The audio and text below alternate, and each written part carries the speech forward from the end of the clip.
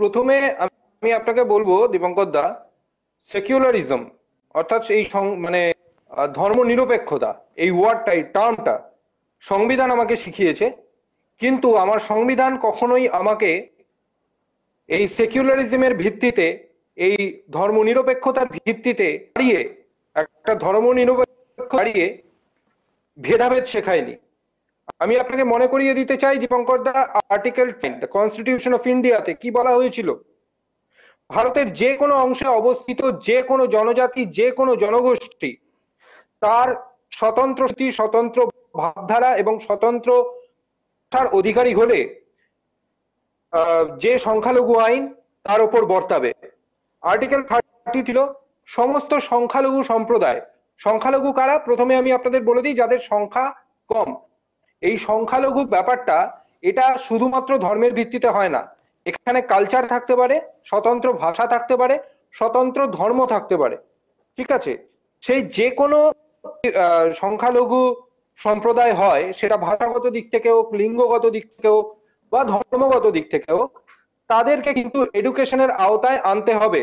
That is my constitution teaching me আমার constitution আমার সংবিধান আমাকে এটা শিখিয়েছে। এবার আমি আপনাকে বলি যে এই ভাষাগত যে ধর্ম নিরপেক্ষতা বা ভাষাগত যে সংখ্যালঘু আইন, সেটা কি? থ্রি ফর্টি সেভেনে বলা হয়েছে, যে কোনো ভাষায় কথা বলা যাবে এই ভারতবর্ষে। কেউ বলছে কি ভাষায় কথা বলে? কেউ যে কোনো ট্রাইবাল ল্যাঙ্গুয়েজে কথা বলতে পারে। তার অধিকার সে তার মাতৃভাষায় কথা বলবে। থ্রি ফিফটি এ এবং থ্রি ফিফটি বি তে বলা হয়েছে, যে কোনো ইনস্টিটিউশন সেটা স্কুল হোক, কলেজ হোক বা যে কোনো শিক্ষা প্রতিষ্ঠান হোক বা যে কোনো চাকরির জায়গা হোক, সেখানে কিন্তু যে ঊর্ধ্বতন কর্তৃপক্ষ তাকে সেই সংখ্যালঘু ভাষায় যদি কোনো সংখ্যালঘু কর্মী থাকে থাকে বা স্টুডেন্ট থাকে, তাকে নির্দেশ দিতে পারবে মানে তার মাতৃভাষায়। অর্থাৎ সংখ্যালঘু যেই ভাষায় সেটা যে কোনো ট্রাইবাল ল্যাঙ্গুয়েজে হতে পারে। দুই থ্রি ফিফটি বিতে বলা হয়েছে ভাষাগত বৈষম্য দূর করতে বিশেষ আধিকারিককে নিয়োগ করা যেতে পারে যে কোনো ইনস্টিটিউশন যে কোনো স্কুল বা কলেজ বা শিক্ষা প্রতিষ্ঠান, তারা কিন্তু নিয়োগ করতে পারে। এবারে আমি আপনাকে বলি প্রথমে আমি আপনাকে আলোচনার আগে বললাম যে ভারতবর্ষে কোনো মুষ্টিমেয় জায়গায় যদি স্বতন্ত্র কালচার বা স্বতন্ত্র ভাষা বা স্বতন্ত্র ধর্মের অধিকারী কিছু জনজাতি বা জনগোষ্ঠী থাকে, তাহলে সংখ্যালঘু বলি ভারতবর্ষে হিন্দুরা কি সংখ্যালঘু? যেই দেশে সেভেন্টি পার্সেন্ট পপুলেশন হিন্দুত্বের উপরে নির্ভর করে সেখানে হিন্দুদেরকে কিন্তু সংখ্যালঘু বলা যায় না। আর শুধুমাত্র একইভাবে মুসলিমদেরকেও কিন্তু সংখ্যালঘু বলা যায় না। আমি আপনাকে বলি যে কনস্টিটিউশন আইন বলে কিন্তু কিছু নেই। কিন্তু উনিশশো বিরানব্বই সালে national commission for minorities act বলে একটি আইন কিন্তু হ্যালো হ্যাঁ শুনতে পাচ্ছেন? হ্যাঁ উনিশশো সালে ন্যাশনাল মাইনরিটিস অ্যাক্ট বলে একটি আইন কিন্তু লাগু করা হয়েছিল যেখানে বলা হয়েছিল ছটি গোষ্ঠীকে কিন্তু সংখ্যালঘু হিসাবে নির্বাচিত করা হয়েছিল বা সিলেক্ট করা হয়েছিল। সেটা হচ্ছে মুসলিম খ্রিস্টান শিখস বুদ্ধিস্ট সোরাস্ট্রিয়ান যারা পার্সিয়ান বলে অ্যান্ড জৈন। এই ছটি ধর্মের বা ছটি ধর্মের গোষ্ঠীকে কিন্তু ভারতবর্ষ বলছে ভারতবর্ষের আইন বলছে সংখ্যালঘু। এই সংখ্যালঘুর চারটে কার্যকারিতা রয়েছে। কি কি চারটে কার্যকারিতা? এক হচ্ছে সংখ্যালঘু উন্নয়নে জোর দিতে হবে যেটাকে আমরা বলি মাইনরিটিস ডেভেলপমেন্ট দুই হচ্ছে তাদেরকে প্রোটেকশন দিতে হবে মাইনরিটিস প্রোটেকশন তিন নম্বর তাদেরকে প্রোটেক্ট করার জন্য প্রয়োজন পড়লে এক্সট্রা সিকিউরিটি ফোর্স ওখানে হ্যাঁ, অথবা এক্সট্রা সুরক্ষা মানে অতিরিক্ত সুরক্ষা বলয়কে কিন্তু সেখানে নিয়োগ করতে হবে। চার this is last last the list যেটা যদি অধিকার থেকে কোনো সংখ্যালঘু গোষ্ঠীর কাউকে বঞ্চিত করা হয় তাহলে সেই অভিযোগ কিন্তু দায়ের করতে এবং তার বিরুদ্ধে উপযুক্ত যথাযথ ব্যবস্থা কিন্তু নিতে হবে। এটা আমার সংবিধান আমার দেশের রুল বুক আমাকে শিখিয়েছে। আমার দেশের রুল বুকে কোথাও লেখা নেই ও মুসলিম বলে ওর হাদিসে এটা লেখা আছে, আমি ওকে মারধর করব, ওকে লিঞ্চ করব, ওকে আমার দেশে আমি নাগরিকত্ব দিতে পারব না। শুধুমাত্র মুসলিম নয়, আমাদের দেশে বুদ্ধিস্ট, শিখ, ইসাই জোরাস্ট্রিয়ান, জৈন, এরাও কিন্তু সংখ্যালঘু। এদের কথাও মাথায় রাখতে হবে এবং ভারতবর্ষের সরকার, ভারত সরকার, কেন্দ্রীয় সরকার যদি তাদের জন্য ফান্ড প্রোভাইড করে, এখানে কিন্তু কোন রাজনৈতিক মহলের কোন রকম কোনো বিরোধিতা করার কথাই নয়। আমাদের পশ্চিমবঙ্গে মানে আমাদের পশ্চিমবঙ্গটাকে বলা যায় একটা ছোটখাটো ভারতবর্ষ, কারণ এখানেও কিন্তু বিভিন্ন ধর্মের বিভিন্ন মানুষ কিন্তু এখানে বসবাস করে। এখানকার সরকার, আমাদের স্টেট গভর্নমেন্ট কিন্তু কোনো প্রকল্প যখন লঞ্চ করছে, কোনো প্রকল্পের যখন অ্যানাউন্সমেন্ট করছে এরকম কোনো ভেদাভেদ করছে না। কন্যাশ্রী বলুন, শিক্ষাশ্রী বলুন সবুজ বলুন এগুলো কিন্তু সব রকম। যদি আজকে ওয়াকাপ মানে ইমাম ভাতার কথা বলেন, ইমাম ভাতা পাচ্ছে কিন্তু বোর্ড এর পক্ষ থেকে। এটা কিন্তু কোনো রাজ্য সরকার দিচ্ছে না। ঠিক একইভাবে রাজ্য সরকার কিন্তু নিজের কোষাগার থেকে পুরোহিতদের জন্য পুরোহিত ভাতারও ব্যবস্থা করেছে। অতএব আমাদের সেকুলারিজম রক্ষা করা কিন্তু প্রত্যেকটা মানে সচেতন নাগরিকের কিন্তু কর্তব্য। আমাদেরকে এটা রক্ষা করতে হবে যে আমরা একটা সেবার কান্ট্রির নাগরিক। আমরা কিন্তু ধর্ম নিরপেক্ষ দেশে বসবাস করি। এখানে কিন্তু ভেদাভেদের কোনো জায়গা নেই। তুর্কিস্তানে কি হচ্ছে? বাংলাদেশে কি হচ্ছে? নেপালে কি হচ্ছে? কি হচ্ছে? That is not our policy ওগুলো আমাদের পলিসি নয়। ভারতবর্ষ, ভারতবর্ষের পলিসি নিয়ে চলবে। এখানে কোনো ঘৃণার কোনো মানে জায়গা নেই। ঘৃণার কোনো অবকাশ নেই। ভারতবর্ষ একটা সেকুলার কান্ট্রি ভারতবর্ষের সেকুলারিজম রক্ষার জন্য প্রত্যেকটা সরকারকে, যে স্টেট গভর্নমেন্ট হোক বা সেন্ট্রাল গভর্নমেন্ট হোক একযোগ কাজ করে যেতে হবে। এটাই আমার বলার ছিল। প্রশ্ন ছিল যেখানে সংখ্যা লঘু হয়ে গেছে এখন হিন্দুত্ব অনেক জায়গায় রয়েছে নাগাল্যান্ড কোথায় লঘু লঘু হয়ে গেছে? আমি আপনাকে সেটাই বঙ্গরদা ভারতবর্ষে কোনো একটা জনজাতি বা জনগোষ্ঠী যার বিস্তার নেই কোনো একটা এলাকা জুড়ে তারা রয়েছে কোনো একটা জায়গায় কালচার বা নিজস্ব মাতৃভাষা বা নিজস্ব রিলিজিয়ান নিয়ে রয়েছে তারাই তো সংখ্যালঘু হিন্দুরা কোথায় সংখ্যালঘু? হিন্দুরা তো সারা ভারতবর্ষে রয়েছে। উত্তরপ্রদেশে যোগী রাজ্য মহারাষ্ট্র রয়ে মহারাষ্ট্রে শিবসেনা সরকার রয়েছে। আপনি যদি দেখেন আরও অন্যান্য যে স্টেটসগুলো রয়েছে, পাঞ্জাব এখানে কোথায় আপনাদের মুসলিমদের তো কোনো বার বাড়ন্ত নেই? যেই দেশের পপুলেশনের সেভেন্টি পার্সেন্টের ওপরে হিন্দুদের জনসংখ্যা, সেখানে হিন্দুরা তো সংখ্যালঘু হতে পারে না। এটা আপনাকে আগে প্রুফ করতে সংখ্যায় কম। তাহলে প্রশ্ন উঠতে পারে যে হিন্দুরা সংখ্যালঘু হবে কি হবে না। কারণ ভারতবর্ষে অনেক ভাষা ভাষার লোকজন রয়েছে, অনেক ধর্মের লোকজন রয়েছে, যেখানে দেখা যাচ্ছে সব থেকে বেশি পপুলেশন রয়েছে হিন্দু। এবং তার ভিত্তিতে যদি এখন আজকে আমাদের বিরোধী দল বলে যে আমাদের ইন্ডিয়াকে হিন্দু রাষ্ট্র করতে হবে, সেটাও কিন্তু অন্যায় কারণ আমার সংবিধান আমাকে শিখিয়েছে সেকিউলার কান্ট্রি ভারতবর্ষ দেশ, ধর্ম নিরপেক্ষ, যেখানে আমি একটা দেশকে বা একটা রাষ্ট্রকে আমি কখনোই হিন্দু রাষ্ট্র বলে ঘোষণা করতে পারি না। সেই রাষ্ট্রে কোন হিন্দুকে আমি মানে মাইনরিটি মাইনরিটির আওতায় আনতে পারি না। এটাই হচ্ছে মানে তিন কথা বলছেন আপনি শুনুন আগে। আপনি শুনুন। আপনি কোন রেপের কথা আপনাদের যোগী আদিত্যনাথ কবর থেকে নারীদের তুলে মানে রেপ করার কথা বলেছিল।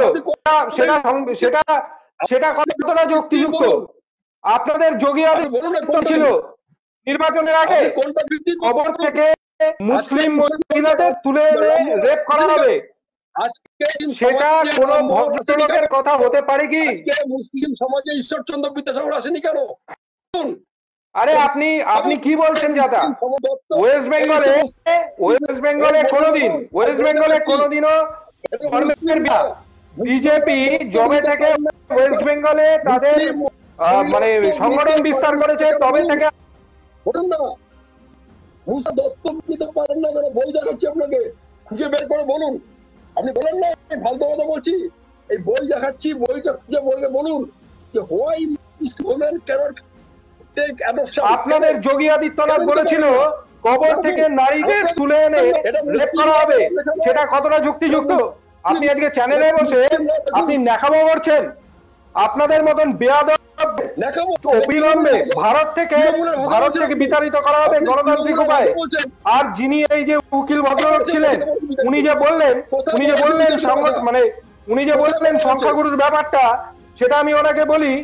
ভারতবর্ষে মাইনরিটির সংখ্যা হচ্ছে মাইনরিটি মানে নাম্বার, জনসংখ্যার।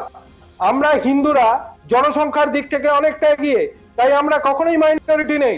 কিন্তু মুসলিম, শিখ, ইসাই জৈন, জোরাস্ট্রিয়ান। এর সংখ্যার দিক থেকে অনেক, তাই তারা মাইনর। উনিশশো বিরানব্বই সালে যে অ্যাক্ট তৈরি হয়েছিল আমার উকিল বন্ধু বড় বড় কথা বলছিলেন চ্যানেলে যেটা তেল মারার জন্য ভোট রাজনীতির জন্য করা হয়েছিল, তা নয় তা নয়। আপনি শুনুন আপনি শুনুন। যেরকম ভাবে উনিশশো ছেচল্লিশের পর ভারতবর্ষ ভাগ হওয়ার পর অত্যাচারিত হয়েছিল, ঠিক একইভাবে মুসলিমরাও অত্যাচারিত হয়েছিল। কনস্টিটিউশনটা এমনি এমনি বাবা সাহেব আম্বেদকর রচনা করেননি। আইনের পাতায় উনিশশো বিরানব্বই সালে national commission for minorities nineteen এমনি এমনি ছটা কমিউনিটিকে মাইনরিটি বলে আখ্যা দেওয়া হয়নি। মুসলিম খ্রিস্টান শিখ বুদ্ধ অ্যান্ড জৈনস এরা এমনি এমনি আজকে ভারতবর্ষের সংবিধানে ভারতবর্ষের আইনের পাতায় ছজন ছটাকে মাইনরিটি বলা হয়নি। আপনি শুনুন আগে। আরে আপনি আপনি শুনুন।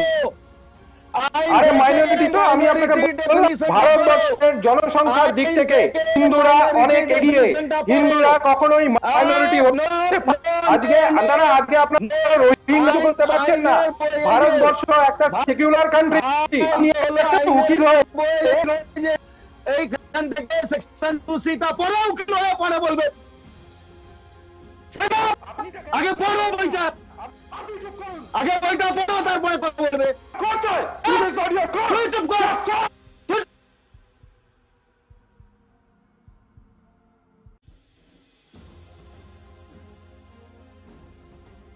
পর তারপরে কথা বলবি আপনি চুপ করুন read you just shut up এটা আপনার কোর্ট নয় you just shut up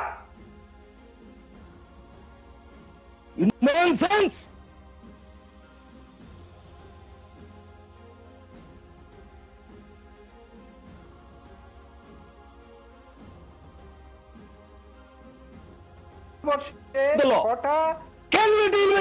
with that? বর্ষে Can you deal with that? Read section 2C. Section 2C first of the same act which you are referring to. Read section 2C first. Read it. Read section 2C of the আগে বলুন, না, না, act আপনি of আগে 92. তার আগে বলুন, আগে পড়ো। 1992 সালে আগে পড়ো।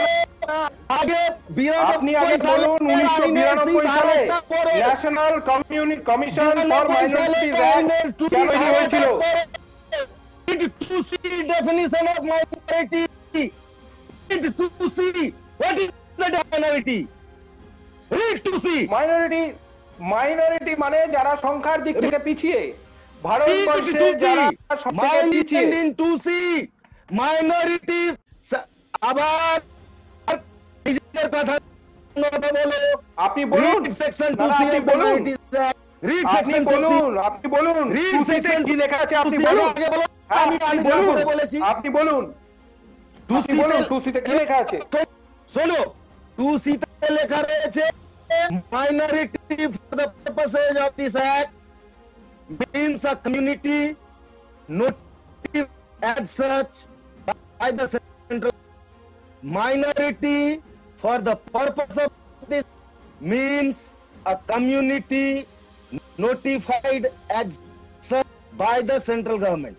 am i clear? This section 2c does not define minority. The power has been vested with the central government by this act. Classify will be the minority. And taking advantage of this section 2c the jihadi governments of, of that time they classify communities. They classify minority word has never been defined minority the word minority has nowhere been in the constitution আমি তো সেটা the আমার word বিবেকের minority শুরুতেই has বলছি। used at four না, না, places. minority নিয়ে listen কোনো to me সংবিধান রচিত হয়নি। listen to me মাইনরিটি নিয়ে Listen কোনো to me. সংবিধান রচিত হয়নি listen listen to me আগে শুনে নাও হ্যাঁ বলুন বলছি আগে শুনে নাও the word minority has been used in the constitution of india at places two headlines of article 29 and article 30 in article 31a and article 30 and article 31b save and accept these four places. There are no place where the word minority has been used in the constitution. That is why i told you there is no definition of minority till date. There is no definition in the India of the word minority. Now I hope I am clear to you.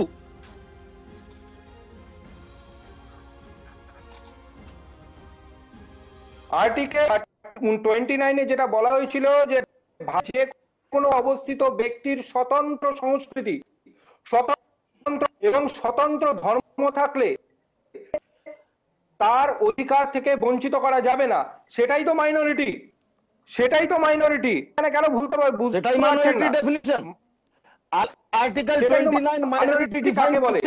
Minority কাকে বলে? সংখ্যালঘু কথার অর্থ কি? 20 সংখ্যালঘু কথার অর্থ কি? ভারতবর্ষের জনসংখ্যার দিক থেকে ভারতের জনসংখ্যার দিক থেকে কারা পিছিয়ে? ভাই আপনি আমাকে আগে সিম্পল প্রশ্নের উত্তর দিন। না না। দাদা আপনি আমাকে প্রশ্ন। আগে প্রশ্ন ভারতবর্ষে তুমি যত লঘু এবং সংখ্যাগুরু তারা ততক্ষণ তুমি পারবে না। এটা ডেফিনেশনটা কি হবে? সেটা আর্টিকেল বলুন টোয়েন্টি নাইন আমি আর্টিকেল Article থার্টি 20 পড়ছি। পড়বে না ততক্ষণ কিচ্ছু বুঝতে পারবে না। আর্টিকেল 29 তুমি বেকার বেকার শুধু চেঁচামেচি করবে আর কিছু করবে না।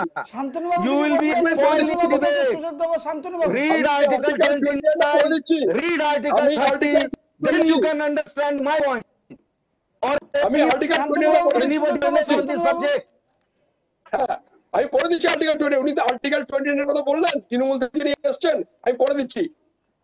Section of citizen residing in India, any part having a distinct language, script or culture, আবার বলছি distinct language, script or culture, পিছিয়ে তারাই minor they are the minor and eventually Yeah. stand distinct and unique This is the from the majority. This is the majority থেকে তারাই কিন্তু পিছিয়ে। তৃণমূল- তৃণমূলের জাগো বাংলার কথা বললে চলবে না।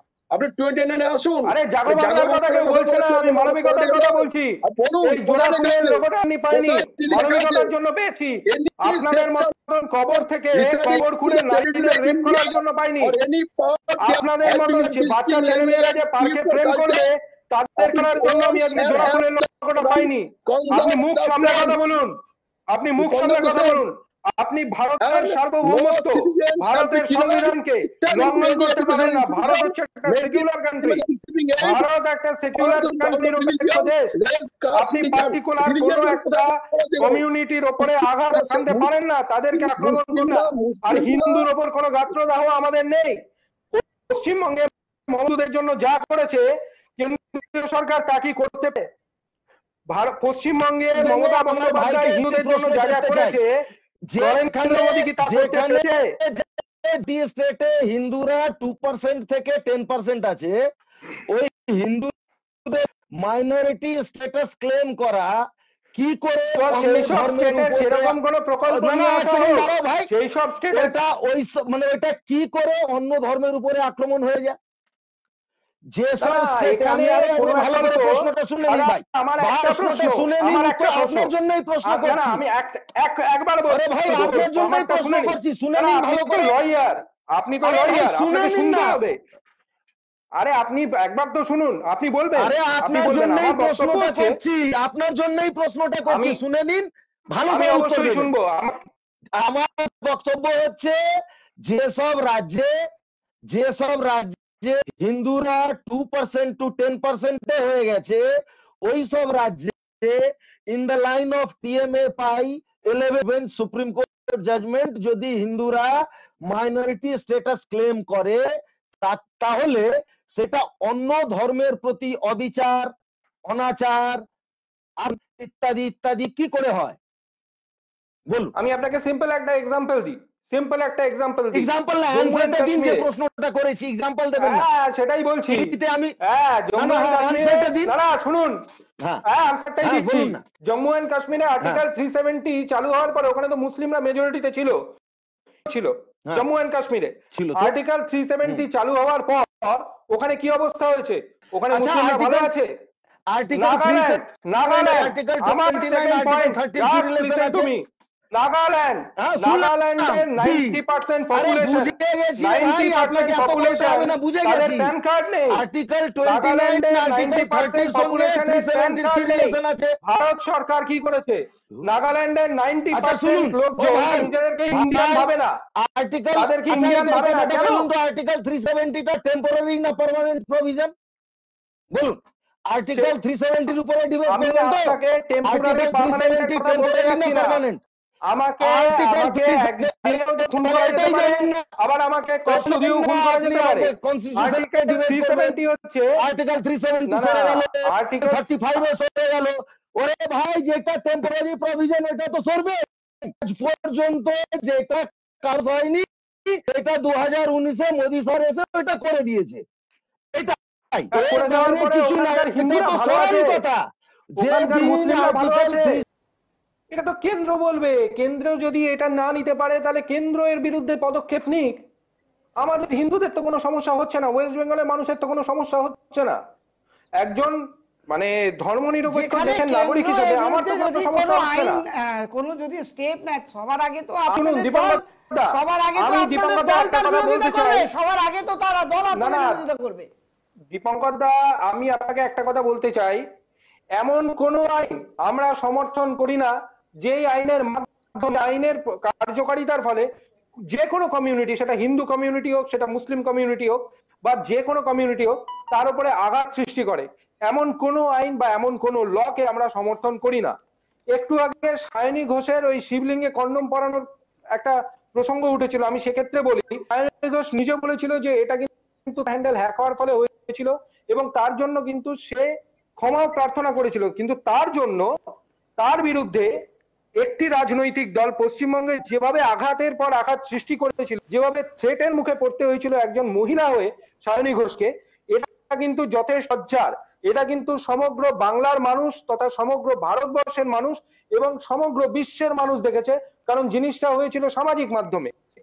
আজকে মানে আপনারা যদি বলেন যে মাইনরিটি মাইনরিটি কারা? মাইনরিটি যারা সংখ্যায় পিছিয়ে যদি বলেন যে যেখানে টু পার্সেন্ট থেকে সেভেন পার্সেন্টে হিন্দু মাইনরিটি চলে এসছে, যে সমস্ত স্টেটে সেখানে এমন কোনো প্রকল্প তৈরি করা হোক, সেখানকার রাজ্য সরকার করুক, যেখানে কোন রকম ভেদাভেদ ভুলে, কোন রকম ভেদাভেদের বাজ বিচার না করে, সেই সুবিধা সমস্ত জনগোষ্ঠীর লোকেরা কিন্তু পাবে।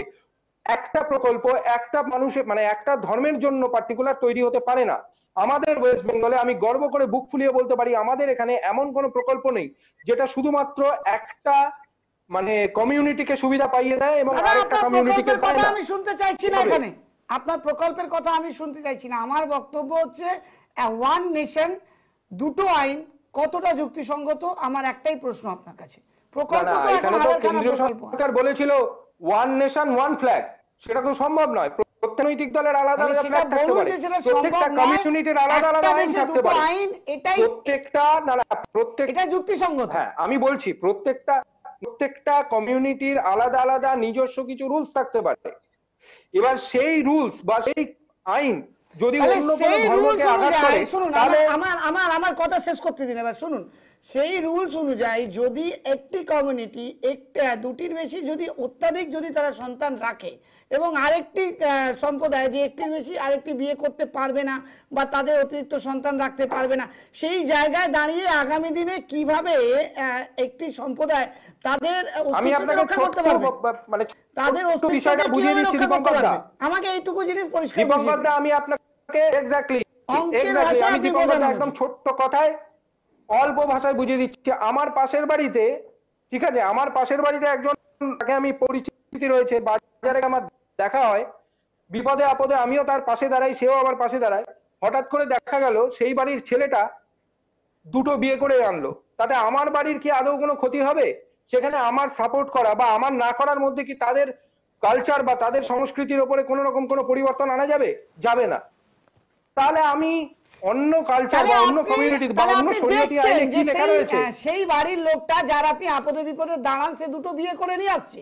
আপনার আপনার আইন অনুযায়ী সেই বিবাহ যুক্তিসঙ্গত নয় কিন্তু আপনি দেখছেন যে যদি তার বাড়ির যদি তার বাড়ির লোকের কোনো সমস্যা না হয় যদি যদি তার বাড়ির লোকের কোনো সমস্যা না হয় তাহলে আমার কেন সমস্যা থাকবে আমরা তো আর এটা বসবাস আপনার না। এর জন্যই- সমস্যার এর কথা জন্যই নয়।